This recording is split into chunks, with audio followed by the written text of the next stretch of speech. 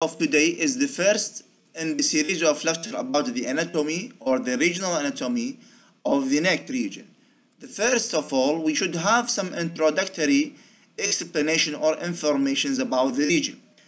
كما متعودين سابقا we should know about the framework or the skeleton of the region and here we have uh, composed of cervical vertebrae a series of vertebra from C1 to C7 and the first uh, vertebra is called atlas the second vertebra has its name as axis and the last one in the series has its name as a vertebra prominens.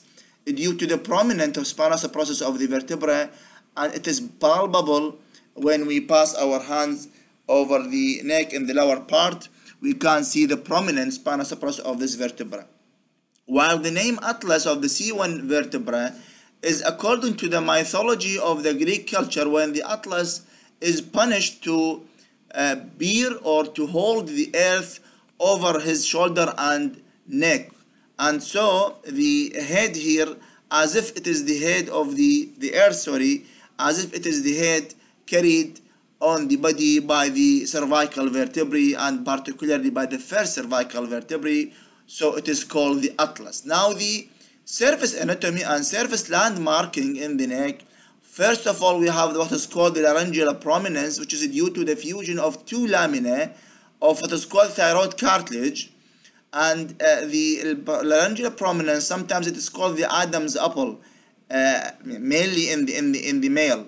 So it's more prominent in the male. This adam's apple or laryngeal prominence i think it is due to the what is called the fruit apple stuck in adam's throat as it is mentioned in the uh, uh, previous uh, mythology okay? Now the difference between the male and female angulation or the angle of fusion between two lamina of thyroid cartilage is so evident here in the picture. When the female is more wide so it's not prominent in the anterior part of the neck while in the male it is more prominent and tapered here and we can see it even by naked eye and can feel or palpate it on the uh, uh, neck.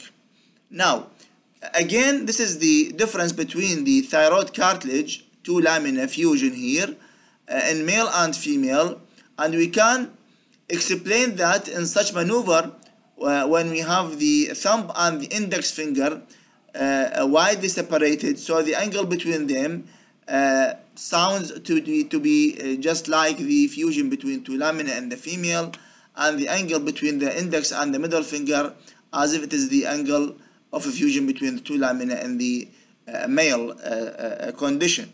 And also, we can recall the uh, relation between the two parts of the hip bones in male and female and the what is called the subpubic angle which is wide and obtuse in the female while it is acute in the case of the male. So these are just to remind you about the uh, why it is prominent in male Adam's apple. Okay, now the thyroid cartilage here as um, a leveling. Uh, just we have here in, in the in the neck we have what is called the vertebral scale, the vertebral, and we can correlate each uh, structures in the neck with this vertebral scale. So the thyroid cartilage, as seen here, green in color, it is at the level of this fourth cervical vertebra, C4, and even C5 uh, vertebra. So this is the vertebral scale of the thyroid cartilage, of the thyroid cartilage. And this thyroid cartilage, uh, it is part of the uh, uh structures in the neck that raise up and down during swallowing due to the attachment of many muscles. Uh, we will uh, come across them, I think, in the next lectures. Okay. Now, the second point or the second part of the skeleton of the neck, in addition to the seven, seven cervical vertebrae, we have what is called the important and famous hyoid bone in the neck. This hyoid bone, uh, it lies just above the level of thyroid, so we expect it ab above the level of C4 vertebra. Just like, uh, uh, let us say, C3 vertebra. So the hyoid bone uh, lies at the level of C3 vertebra here above the level of thyroid cartilage and also this hyoid bone due to its attachment with the muscles of swallowing uh, uh, um, we can see it moving during uh, swallowing uh, in up and down uh, uh, direction the hyoid bone um, in morphological description just like a U-shaped bone with two main important projections here on each side we call them the greater horn and the lesser horn of the hyoid bone. So this is the body of the hyoid bone and these are two uh, horns, the greater and the lesser akid. The lesser is lower in position than the, sorry, the, the, the, the lesser is higher in position or more, uh, uh, more uh, anterior in position than the greater horn, which is more posterior. The hyoid bone, it is a bone in the neck and has a unique feature that it is not articulated with any other bone. So there is no joint with this bone.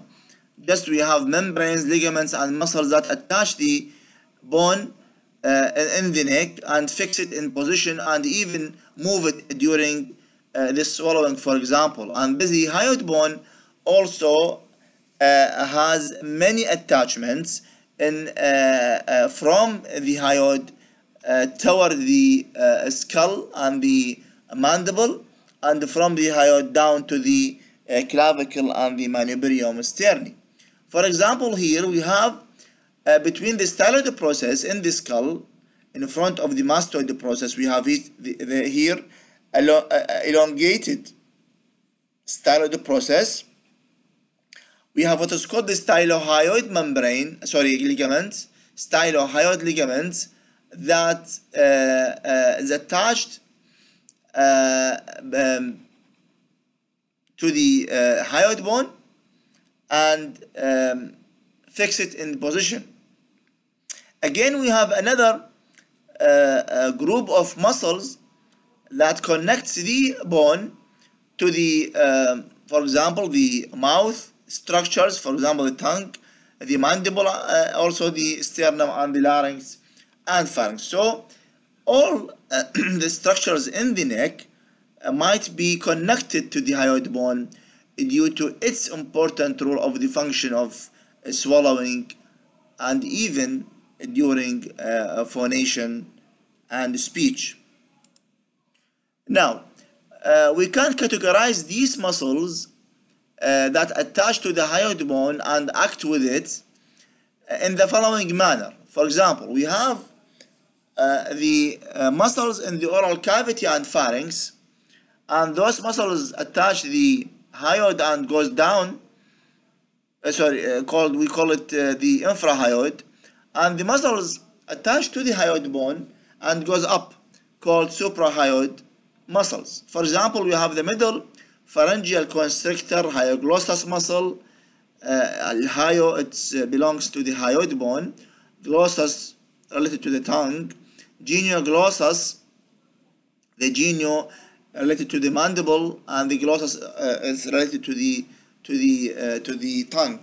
These muscles uh, called the muscles of the oral cavity and the pharynx and act with the hyoid bone. The suprahyoid muscles like the digastric muscle, uh, the stylohyoid muscle uh, from the styloid process as we mentioned before and also we have a ligament called stylohyoid ligament the geniohyoid muscle the mylohyoid muscle and the infrahyoid muscles they are as follows the thyrohyoid omohyoid and the sternohyoid muscle comes from the sternum toward the hyoid bone. These are the infrahyoid muscle.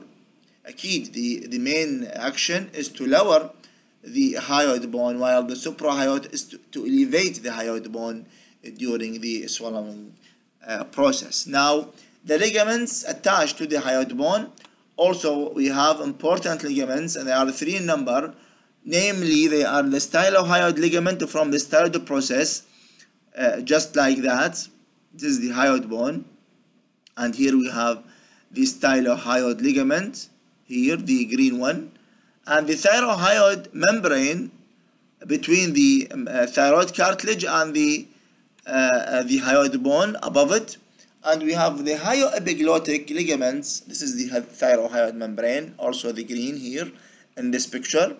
And we have what is called the thyro uh, the hyoepiglottic ligaments the hyoepiglottic ligaments between, between the hyoid bone and the epiglottis. I think it is not uh, evident or seen in the uh, pictures here.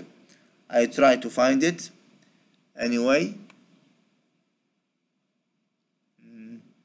I think we have we haven't seen the uh, the hyoepiglottic ligament here it is more uh, from the internal side. Okay.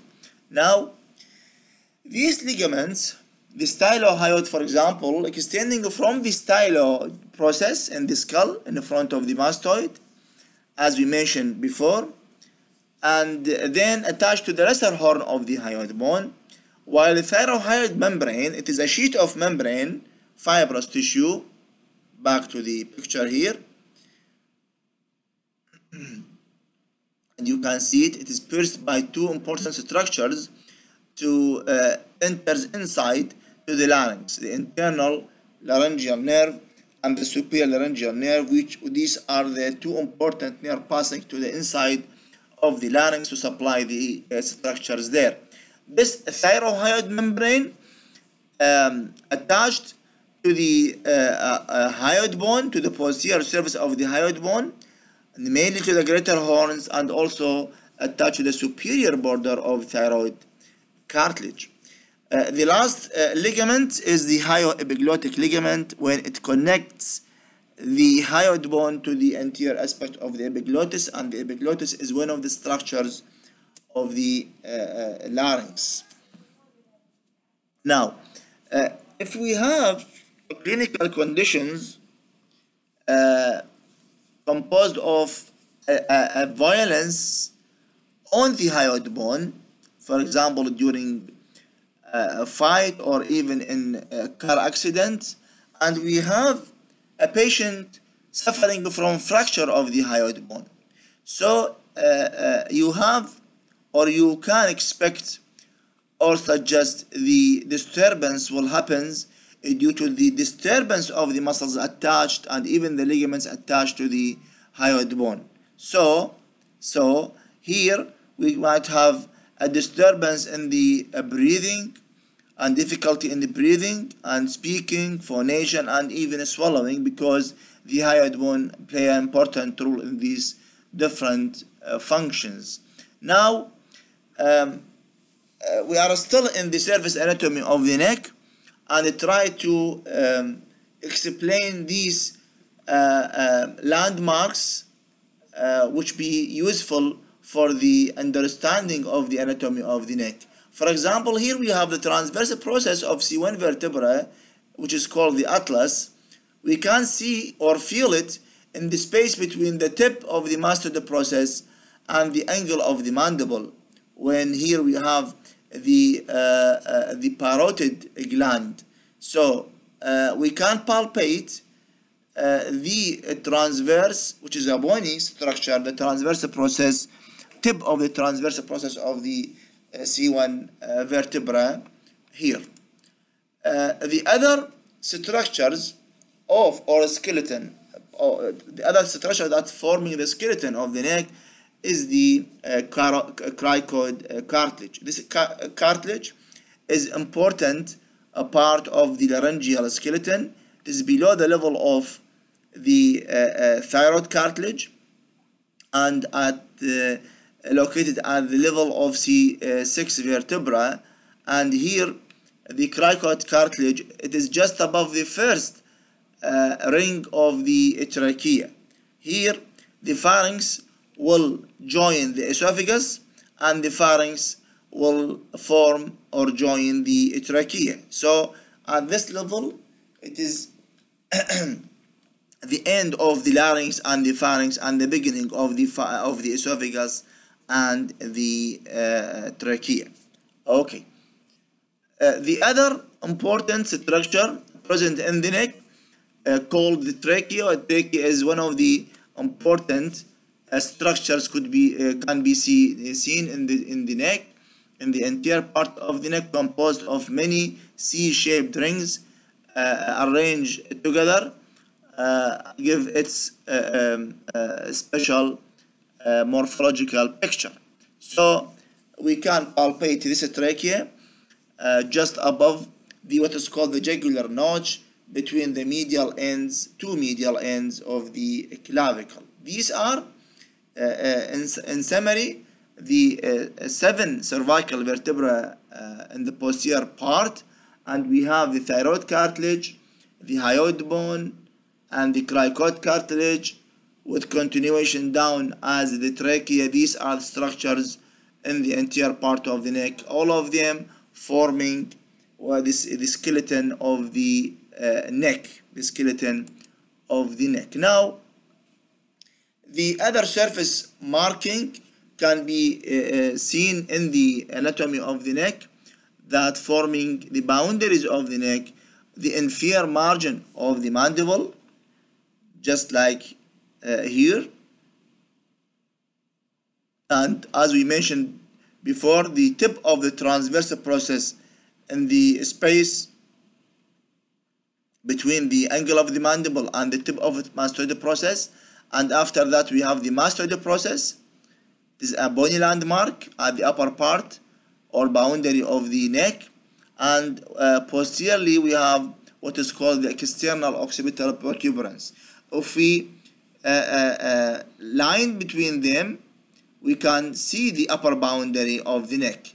Above it we have what is called the face and the scalp. And below this boundary we have the neck now uh, the neck to understand its general plan simply it is just like a cylindrical cylindrical in shape has upper boundary as we mentioned it the lower border of the mandible the mastoid process or the tip of the mastoid process and the uh, external occipital protuberance. This is the upper boundary or limitation of the neck.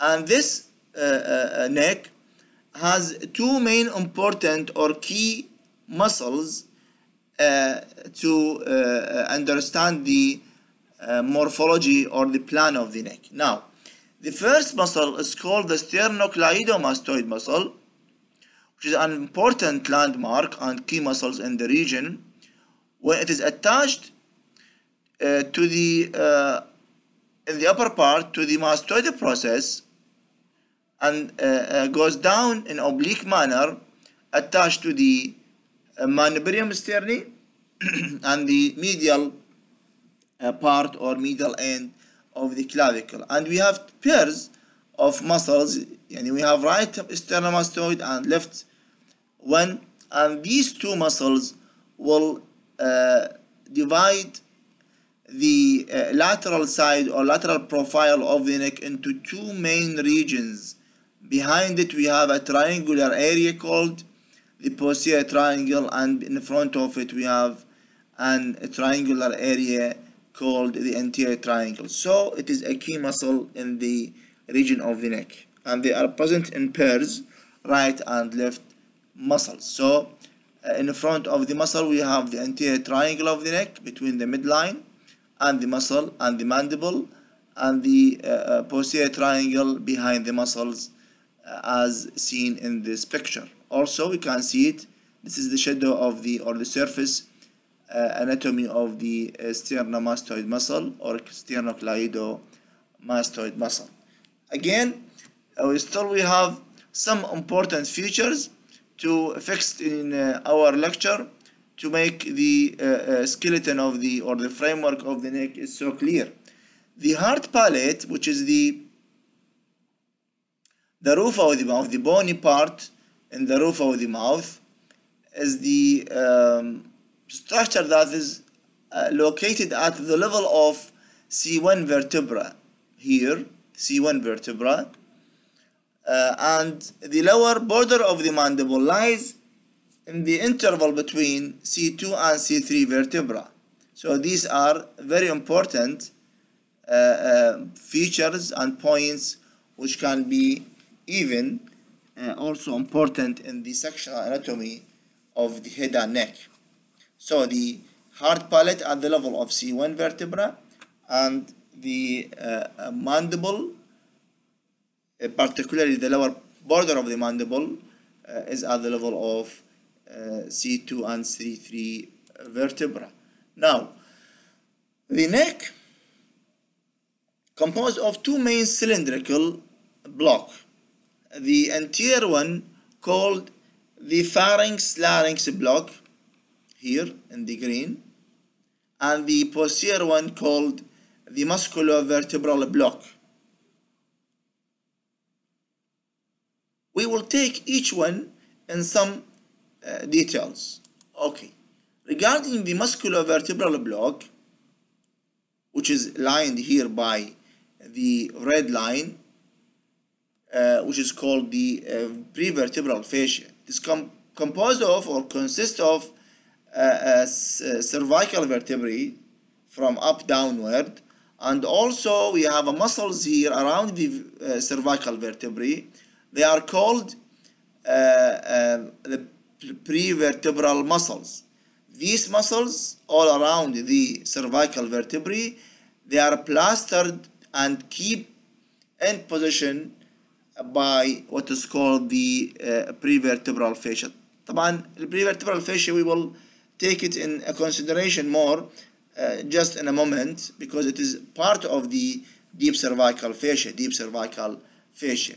Now, the other block of the neck is more anterior uh, here called the pharynx larynx block. When we have uh, the pharynx and with its structures and muscles and the larynx with its structures and uh, uh, uh, uh parts. So the uh, larynx and pharynx, the larynx is more anterior and the larynx is more posterior and surrounding the larynx. At the level of C6 vertebra below in the neck, the pharynx will end and continue as uh, with the esophagus, while the larynx is ended and continue down uh, with the trachea. So all of these structures on e or even can we call we can call it the viscera of the neck. They are uh, surrounded by part of the deep fascia of the neck, namely the pretracheal fascia. That pretracheal fascia that surround the visceral compartment, the visceral compartment or block of the neck. Now, again, back to the sternomastoid muscle which is the key muscle in the neck. This is the anterior aspect of the neck and this is the posterior one. And here we have the lateral sides of the neck. You can see here the pairs of the muscle sternomastoid two muscles here and also in the posterior aspect we have also a pair of muscles called the trapezius muscle here. Now the investing layer which is the first layer of the deep fascia of the neck beneath the or underneath the skin and the superficial fascia of the neck uh, it will continue just like that. Here we have single layer of the deep fascia. We call it the investing layer of deep cervical fascia and then when this layer reaching the muscle like the sternomastoid it will split into two lamina external lamina and internal lamina and to cover, to enclose, to engulf the muscles and when it reaches the posterior border of the muscle will reunite again forming single layer and again here split to enclose the muscle trapezius and then it will fuse here to the ligamentum nuchae which is one of the points that fix the fascia uh, uh, um, of the neck. On the other side, uh, the same we have here enclosing the muscle sternomastoid and the muscle trapezius. So the uh, investing layer, it is the outer layer of uh, deep cervical fascia and give the neck its contour. Now, this investing layer, uh, as we said, envelopes the neck just deep to the superficial fascia, which is underneath the skin. So in the neck, we have superficial fascia and Within this superficial fascia, we have uh, fibers of superficial muscles called the platysma muscle. So the platysma muscle is the superficial muscles present within the tissue of the superficial fascia حتى تفهم شنو platysma muscle that helps the man when do the shaving of his uh, bear or chin واحد لما يحلق يسوي هاي المانوفر لما يسوي stretching of the neck this stretching of the neck is by the platysma muscle fibers that stretch on the superficial fascia of the neck to make the shaving is more easy. Um, now, the other parts of the deep fascia of the neck, uh, we have other parts. For example, the carotid sheath, it is also belongs to the deep fascia of the neck. لكن إلى اسم خاص اسمه the carotid sheath and this sheath surrounding the neurovascular structures here we have the artery, vein, and nerve. The artery is called common carotid artery in the, part, in the lower part of the neck, while at the level of C4 and above, it will bifurcate into two main arteries, the internal, which is continue inside the carotid sheath, while the external comes out of the sheath to supply the blood for the structures of the neck. Now the other just lateral and posterior is the internal jugular vein, which is the main uh, blood uh, drainage of the uh, uh, uh, brain and the and the head and neck. And the last one is the nerve in between and behind, in between and behind the vagus nerve, which is the tenth cranial nerve uh, of the of the CNS. okay. Now, to summarize the previous slides, we uh, have the following structures. The skeleton of the neck composed of bony and cartilaginous part. The bony is the bony part is the uh, seven cervical vertebra while and bone اللي هو الهايوت bone الانterior part of the neck والcartilage هي كانت the uh, the thyroid cartilage the uh, cricoid cartilage the trachea طبعا عندنا other cartilage موجوده within this the, the larynx for example the arytenoid and the epiglottis and we will uh, uh, take them in uh, uh, in the in the I think in the uh, next coming lectures okay here the following are the uh, layers of the fascia that surround the neck.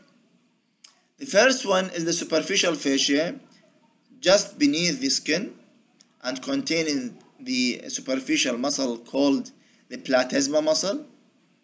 The second layer as a facial layer surrounding the neck structures is the uh, four, four layers. All of these four layers belongs to the deep fascia of the neck and have uh, its division or subdivisions uh, uh, as follows. The investing layer of the deep fascia of the neck, as we explained it in the previous slides, and the pretracheal fascia that surrounds the uh, pharynx and larynx, uh, the uh, visceral part of the neck, and the carotid sheath that surround the neurovascular structures and the last one the prevertebral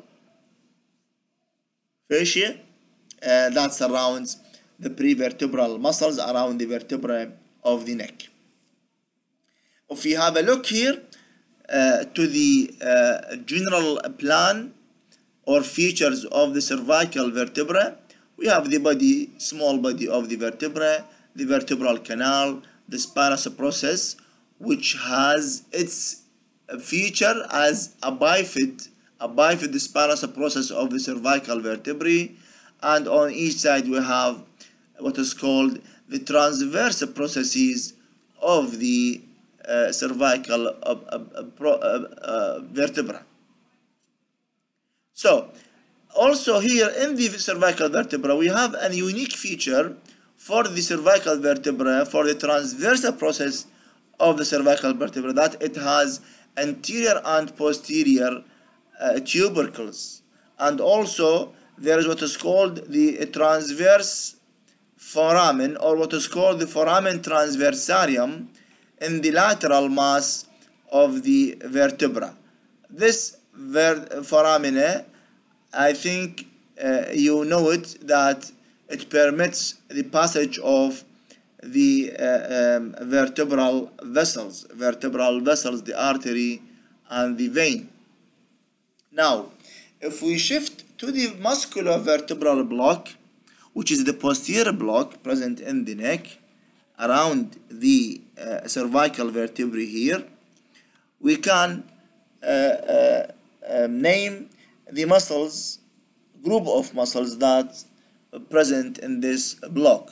First of all, and in front of the body of the cervical vertebra, we have the longus colli muscle. And this mus muscle is a long one passing in front of the series of the cervical vertebrae.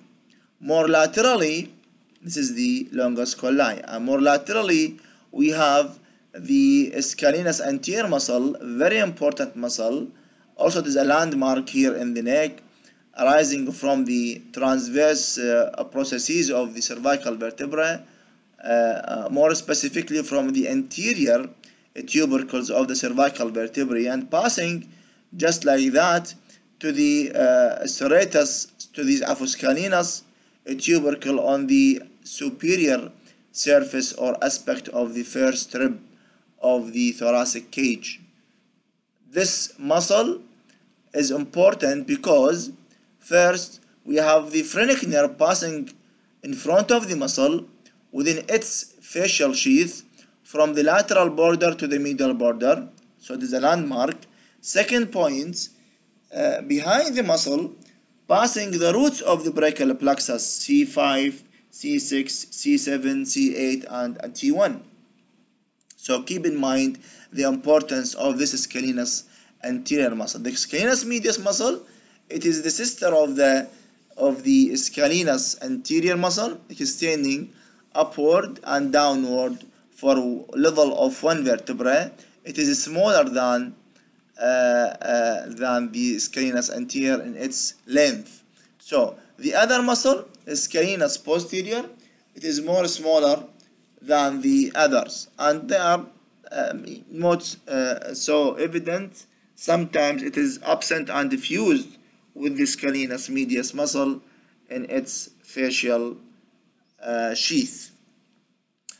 Uh, so after the longus colli, laterally we take uh, the scalenus anterior and then to the passing to the scalenus medius and scalenus posterior and after that we have what is called the levator ani muscle uh, these this muscle forming uh, uh, part of the floor of the posterior triangle أذكركم this is the posterior triangle uh, of the neck we will take it uh, in the uh, next lecture and this is the floor of the triangle here so these muscles can be seen from the lateral profile of the neck this line uh, is uh, um, stands for the investing layer of deep cervical fascia and this is the sternomastoid muscle and this is the uh, trapezius muscle. So in between we can see through the fascia the uh, muscles here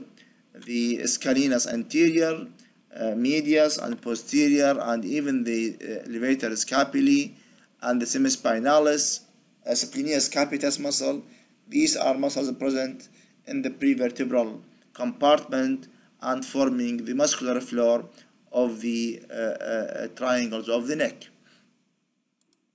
The other muscle, the splenius capitis muscle, uh, passing from the posterior, from the posterior tubercle of the transverse process of the cervical vertebrae here, you know, this is the foramen transversarium, this is the anterior tubercle, and this is the posterior tubercle. So from this posterior, we have the attachment or the origin of what is called the splenius capitis muscle. And the last one, I think this is the semispinalis capitis muscle, when we can see it in the upper part of the triangle called the posterior triangle of the neck, posterior to the sternomastoid muscle, and the apex of the triangle higher up, uh, just near the superior nuchal line. Okay. Now we finished the uh, group of muscles present in the muscular block or what is called the prevertebral block around the cervical vertebra and again we will uh, recall them and repeat them in the lecture of the posterior triangle I think. Now the cervical nerves some points about this to topic you know the cervical spines uh, sorry the cervical segments of the spinal cord. They are eight in number and we have seven cervical vertebrae. Please do not mix between two uh, two uh, descriptions.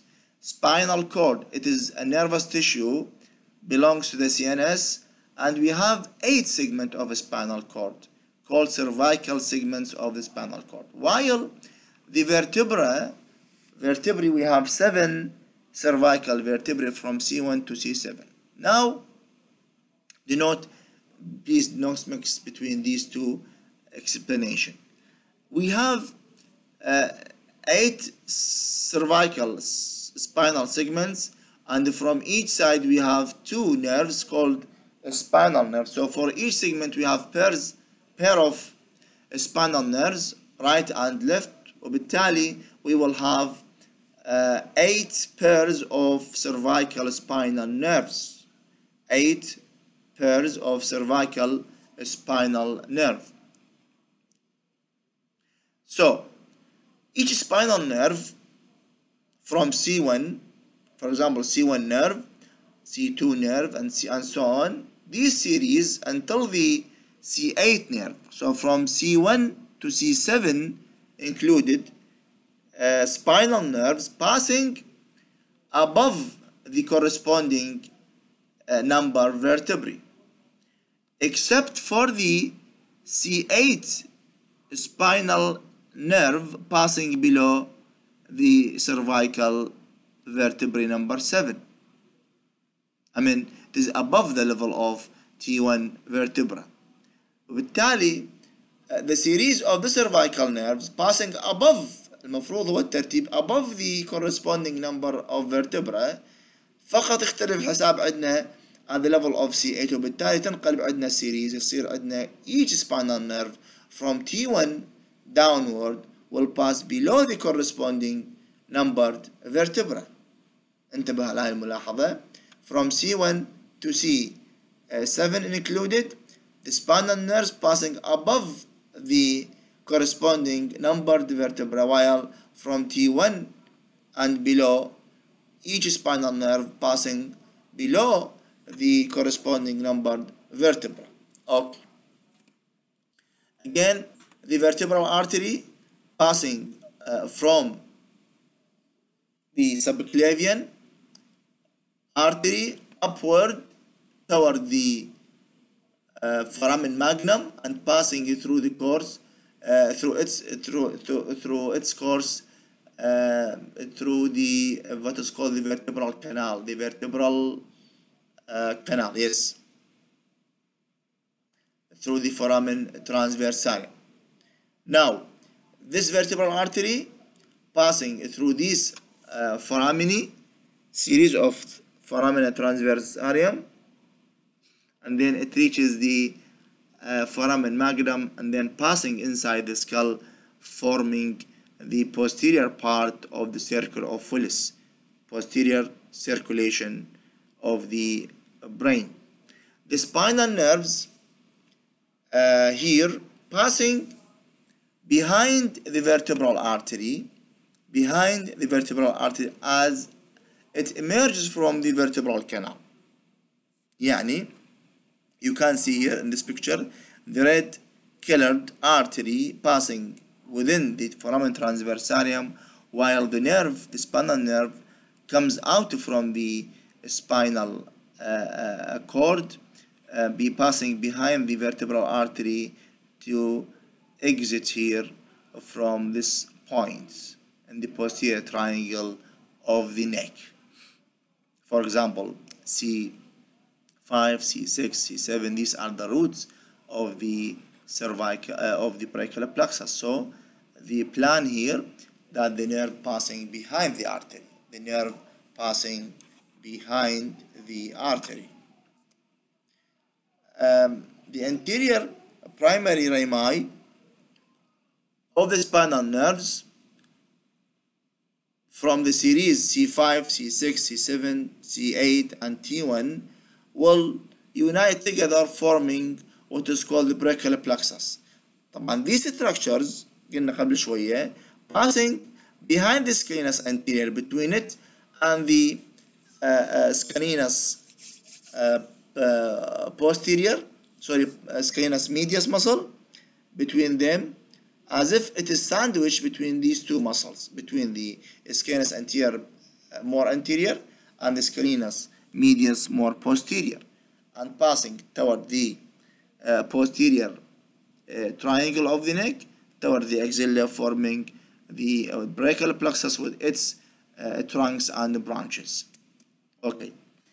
Um, these structures passing from the root of the neck toward the axilla and the upper limb, um, the neurovascular structures, whether subclavian vein comes uh, proximally or the subclavian artery passing toward the uh, axilla, and even the structures of the brachial plexus here, they are sleeved by, sleeved by, or surrounded by a prolongation of the prevertebral fascia that surrounds the vertebra and the muscles around the vertebra and in, the, in the neck. So this prolongation passing around these structures, we call it the uh, axillary sheath. So the axillary sheath, uh, sheath, by definition, is a prolongation of the prevertebral fascia, which is part of the fascia of the neck, passing around these structures toward the axilla. Now, some points about this uh, visceral compartment of the neck composed of the trachea below the level of C6 واحنا تكلمنا عليها قبل شوية and the esophagus also at the level of C6 and below more more behind. And all of these structures surrounded by the pretracheal fascia. Above the, the level of C6 we have the larynx above the trachea and we have the pharynx above the level of the esophagus. And uh, here within the uh, facial covering by pretracheal fascia um, between the level of uh, C4 and below we have the uh, gland called the thyroid gland which is the endocrine gland here has two lobes and isthmus in between called the thyroid gland. Thyroid gland is again covered by the pretracheal fascia. One of the covering of the thyroid gland is the pretracheal fascia. Um, here in the uh, visceral compartment and just behind the uh, uh, trachea we have a nerve, an important nerve called the recurrent laryngeal nerve uh, in the groove between the tracheoesophageal groove called the tracheoesophageal groove and here we have the recurrent laryngeal طبعا على two sides موجود لكنه اكو اختلاف بال ال, ال, ال distance it is more deep here or more shallow here now it occupies this groove uh, and uh, the recurrent laryngeal nerve طبعا the left or right يختلف uh, بالlevel of its origin for example the left recurrent laryngeal nerve is evident here because we are lower in level in the neck and the recurrent laryngeal nerve يأتي from the vagus after it reaches the arch of the aorta يعني بالchest وبالتالي the origin of the recurrent laryngeal nerve is so lower in the chest and then ascending upward between the trachea and esophagus so the origin of the left laryngeal nerve is lower while the origin of the right recurrent laryngeal nerve uh, uh, also from the right vagus لكنه just when it crosses the subclavian artery subclavian artery اللي هو يعني قريب على الفيرست رب وعلى الروت of the neck وبالتالي the level of the uh, recurrent laryngeal nerve now is higher on the right side so in the lower neck we cannot found or see the right while we can see the uh, recurrent laryngeal nerve, the left one, uh, in position. Behind the uh, uh, this nerve on the left side of the neck, also we have an important structure called the thoracic duct, which is an the main thoracic drainage for the uh, uh, regions of the chest and even the uh, as a continuation of cisterna chyli at the lumbar region. At the lumbar region, we have the cisterna chyli, which is the uh, thoracic, the main lymphatic duct or channel, and then ascend upward as a thoracic duct, which reaches the the left side, and then it will uh, drain its contents into the confluence between the brachiocephalic and the um, subclavian. Sorry, the brachiocephalic and the uh, uh, jugular vein.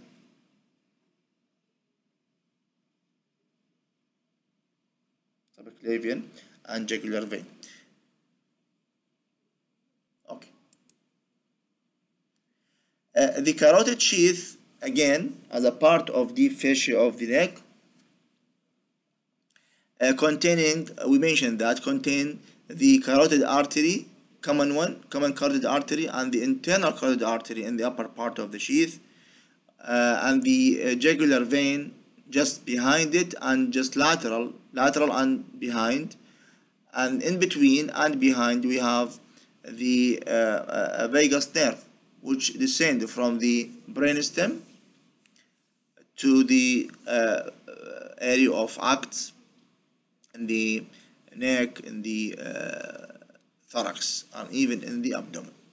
So, this tough fibrous tissue, which is the carotid sheath, is uh, very much thinner over the vein. Here in the lateral part of it, it is very thinner, and this will uh, give the vein the freedom to expand during the increased blood flow. وهي حقيقة بديهية احنا عندنا the major veins in the body uh, راح تشوف دائما beneath behind it an area of freedom ممكن يكون potential space ممكن يكون اكو space أو ممكن يكون بجانبها حتى it will يعني uh, give the vein the space to expand during the time of increased venous return. The carotid sheath, as a part of the fascia of the neck, has upper attachment to the uh, uh, bony margins of the skull uh, around the carotid canal, around the carotid foramen in the skull. هنا متحرك الرينجز مفروض بهاي المنطقة موجودة. So, and downward, the lower limitation of the carotid sheath is in the uh, upper mediastinum when it's blended with uh, the adventitia of the arch of the aorta. When it is blended and fused with the adventitia of the arch of the aorta. So, the uh, carotid sheath has its upper attachment and lower attachment uh, as mentioned